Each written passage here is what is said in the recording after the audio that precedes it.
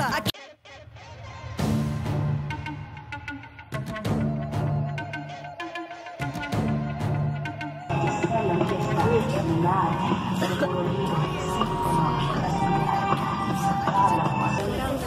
acrotela para el 25 de noviembre ahora, eh, también acabo de marchar porque este, yo quiero participar en esta lucha contra eh, la violencia de la mujer.